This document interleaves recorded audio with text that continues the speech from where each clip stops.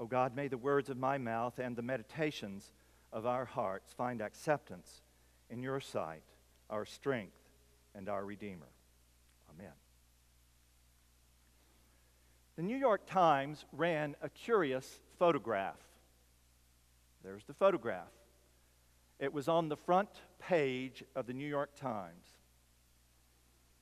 It's a photo of a six year old boy in Africa. He's bailing out a boat, as you can see, a small fishing boat. Now, are any of you disturbed by the picture? Not really. But there was a caption beneath the original picture that explained that the boy was an indentured servant, leased for years from the boy's parents by the fishermen in the back of the boat. The story becomes more disturbing when you learn that the boy's task is bailing out the boat as much as 14 hours every day.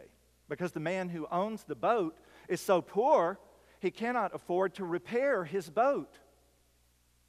And yet he's just prosperous enough to own a little boy to keep it from sinking. The boy's parents are so poor that they had to indenture him to the fishermen for a little bit of money. The existence of a child enslaved by a poor fisherman is nearly too dark to comprehend. If he did not bail, he was beaten. If he bailed, the water still filled the boat. His life was,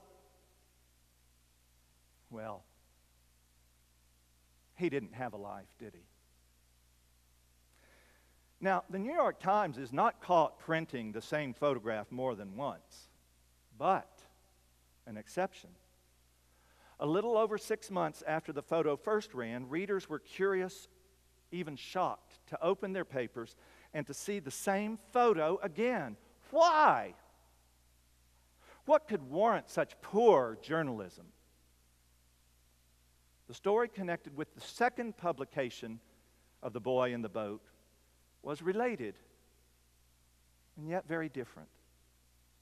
The news story told a tale of a couple in tiny Neosho, Missouri, Pam and Randy Cope, whose 15 year old son, Jantsen, a high school freshman baseball lover, had died suddenly of a heart condition just a few months before. Pam was a hairdresser, and Randy was a vice president in a company that owned some small new newspapers across several states. At the time of their son's death, they had received about $25,000 in contributions to a charitable fund in Jantsen's memory that they asked to have set up in lieu of flowers. The Cope's world before their son died consisted of baseball games, dance lessons for their daughter, and trips to places like Disney World. It was a small world, the mother says. She says, I was pretty shallow. Well, it took the couple a year to find a new focus. They thought of buying new uniforms for the girls' soccer team in town, but they learned that there was already enough money for that. Perhaps some new playground equipment for the parks, but that wasn't a crying need either. Pam said it got almost comical as doors were continually closed to their memorial gifts. But then, some friends who were working on building orphanages in Vietnam invited them to go over for a visit. And that's when their world changed completely, and the darkness was banished. And now they work to rescue children from human trafficking and slavery to care for children in shelters. Oh, yes, and they saw the picture of six year old Mark Kwadwo in the New York Times bailing out the boat and found a way to help him and others like him. And that's why the picture was published twice on the front page. Jesus said, Believe me, believe me. No one can enter the kingdom of God without being born again. Not only did new life, true life, come to the children who were helped by the Copes Foundation, wondrous as it is, but the Copes too found light in their darkness. Life that springs up to eternal life through their faith working. Indicative of their new life, Pam Cope was transformed from being a hairdresser in a tiny village in Missouri to a fundraiser for buying children from slavery and situating them in safety. For her, the speaking was very stressful at first. She'd address four or five hundred people, and not one single one would give. And then she says that she decided that she'd be a voice not for the organization, but only a voice for children in crisis, not trying to control the reactions of the listeners.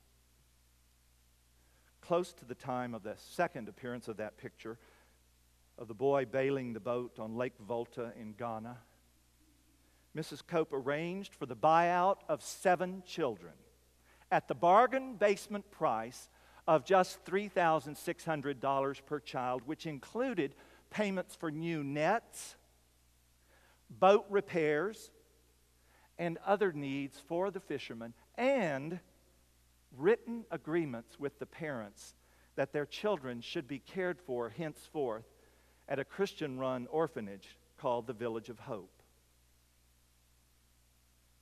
Nightlife, true life, found in the darkness of night, just like Nicodemus found night life, rebirth, birth from above. Now, I'll confess a sermon titled Nightlife may have tricked you. We might be rather suspicious that any God given true life can be found covered up by darkness. We'd be wrong. In the Bible itself, many fascinating and important things happen by night. In the encounter between Nicodemus and Jesus, what begins by night with great intrigue ends with revelations of new life. Did I set you up? Yes, I did. I meant to. Nightlife connotes different things to each of us earthly pleasures, glittering but brief delight, strange new worlds, shame, but seldom what we learn Nicodemus found. That Nicodemus would come to Jesus under the cover of dark could have been for various reasons.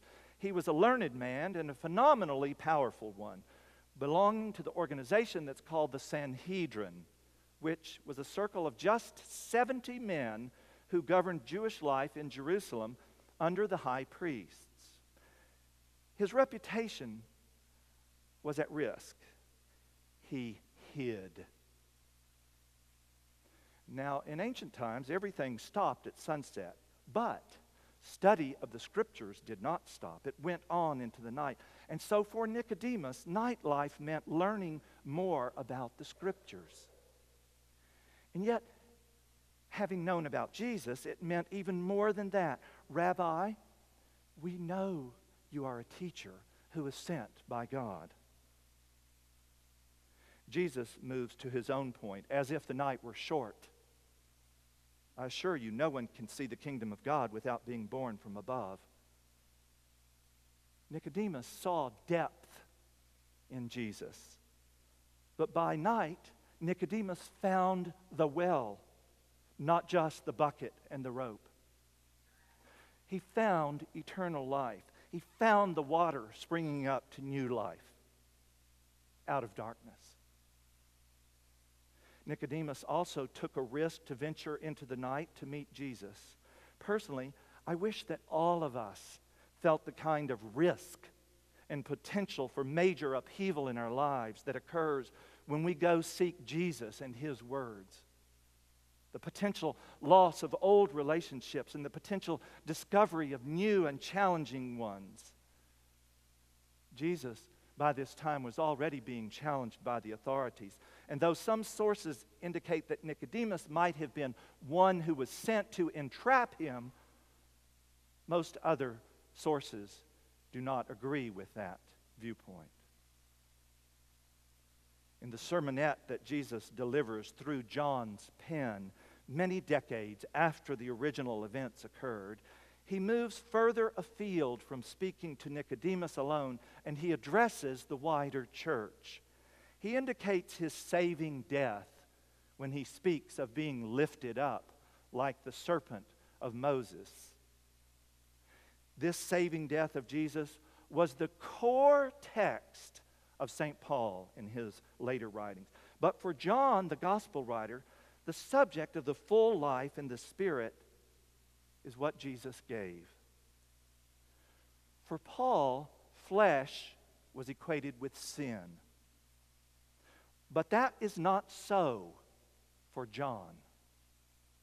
According to the late Raymond Brown, the great Roman Catholic scholar of the New Testament, according to Brown, flesh in John means only weakness and finitude, mortality, which conditions are overcome in the present by faith in Jesus, which faith is a purely purely a gift from God, a gift from above, a new birth. John, the gospel teller, uses the opportunity also to speak sacramentally of water of new life, which the early church definitely understood to point to the water of baptism. There's life then for Nicodemus that came from his surreptitious foray into the darkness, even though he could not quite fathom what gift of being born again from above meant. Born in the Spirit, what did it mean? We do well to wonder at the mystery ourselves and not to define it too closely. Eternal life, Zoein Aionion, was the night life that Nicodemus found. We know he found it because we know that against the risk of his reputation, he later ministered to Jesus and his mother during and after the crucifixion. Nicodemus became an undertaker, wrapping the body for burial in haste as the Sabbath was drawing close. Now, this was a huge departure from Jewish custom in which no Pharisee would ever touch a dead body. But don't we see? Nicodemus had found life. A life that transcended the present, a life that transcended death and the old ways of living. Diana Butler Bass wrote Christianity for the Rest of Us. And there she says mainline renewal is not rocket science. You preach the gospel, offer hospitality, and pay attention to people's worship and spiritual lives. Frankly, you take Christianity seriously as a way of life. Now, many people are completely disinterested in religious institutions today, but the appeal of living spiritual communities is rising. It's very significant, especially among younger people.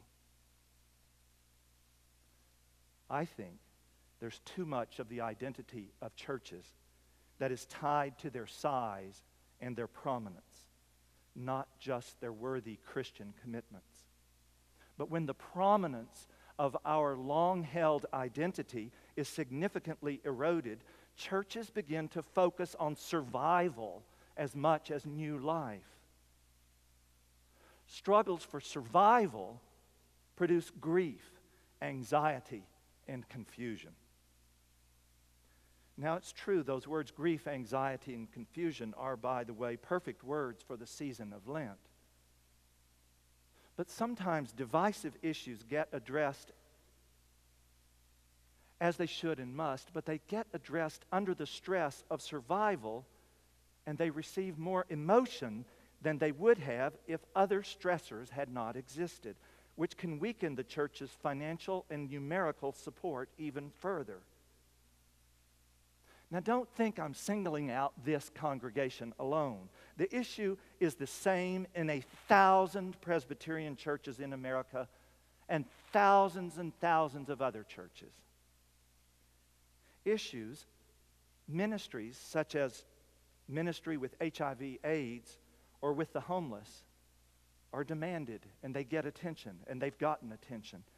But in the long run, sometimes the conflict around issues like that gets vented by squabbles around what color to paint the parlor. Or whether to cut down that old tree that's blocking the public view of the church, and so forth. We have such issues in our congregation. New life in the love of Jesus Christ in the face of these kinds of things gets pushed to the sidelines. In Christianity, for the rest of us, how the neighborhood church is transforming the faith, Bass found that Christians are forming a different sort of village in congregations across the country that are not spiritual gated communities new kind of Christianity, she writes, which is actually an old kind of Christianity, a kind that Jesus was bent on sharing with Nicodemus by night, serves us as a living guide when we are spiritual nomads seeking to find wisdom and life. Perhaps part of our Lenten discipline and spiritual journey together may be to find night life. And to find it the way Nicodemus found it. If it's true that God loved the world enough to give his Son, that whoever believes in him might not die, but have and know eternal life, good God, we pray give us that life. Amen.